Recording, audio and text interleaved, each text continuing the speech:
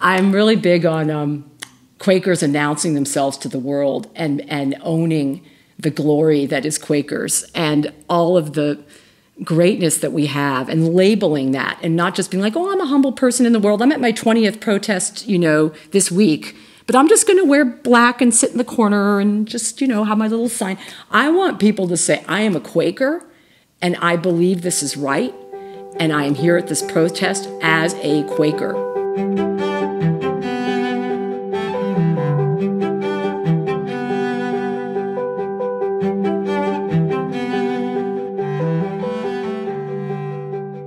My name is Laura Boles. I live in Mill Valley, California, and my meeting is Strawberry Creek Meeting in Berkeley. I had really a vision in my meeting. It was pretty powerful. I just felt like I was listening to um, business meeting, droning on about something or other, and I just kind of lost it and just stood up and was like, I, I don't want to hide behind Quaker process. I don't want to hide behind endless committee meetings talking on and on. I don't want to hide behind consensus. I I want to do something. I want to do something now. I don't want to wait. And we cannot wait. So I started a group in uh, my meeting called Quaker Action Worship Group. And um, I said, you know, we are going to concentrate on action. We are going to go out with Quaker banners, Quaker t shirts, I, we have got to label ourselves Quaker and be present in the most vocal way. And it's very unquaker. It's not what Quakers like to do. They don't want to be, you know, showboating or saying, you know, how how we got the answer. But I am saying we got the answer, and I want people to see what we're all about and I want to uh, offer us up to the world. We started just showing up at events, and um, saying, We're here, we're, we're standing up. Any kind of march or public witness of any kind, we start with um, silent witness, and that can be great and beautiful because you're in the middle of this. Um, you know, march or this rally, we're this island of silence in all of the, you know, all the protesters, everyone's running around, you know, trying to find their friends, or the police are usually everywhere, and there's you know, helicopters and squad cars and fire trucks going, you know, and we're there silently.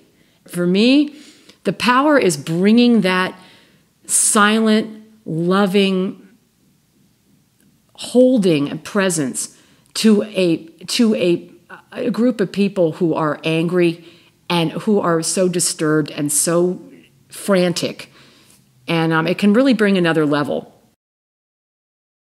Quakers have a good reputation. We have good PR. We have good we have good marketing value. You know, we we're we're I think we have a reputation as a group with integrity.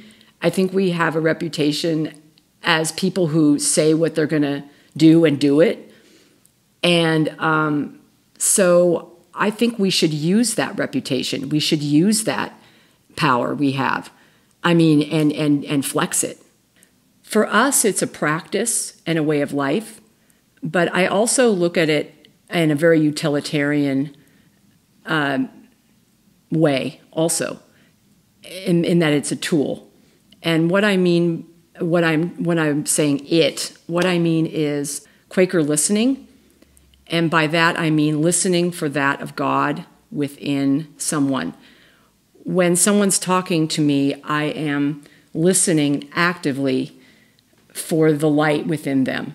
The challenge is to see beyond and see in and pick out the parts that are of the light and and fortify and concentrate those pieces and that is just the time consuming and kind of rather disturbing you know it's just like oh god i have to slog through another you know, meet and greet and more people, more people. But I think that's what Quakers, the strength of them is and the power of them is. Um, and I wouldn't have liked to see more of it in the world. Thanks for watching this Quaker Speak video. We release a new video every Thursday. You can watch all our videos in this playlist here. You can subscribe to our channel by clicking this button here. You can support us through our Patreon here. Thanks again for watching and have a happy Thursday.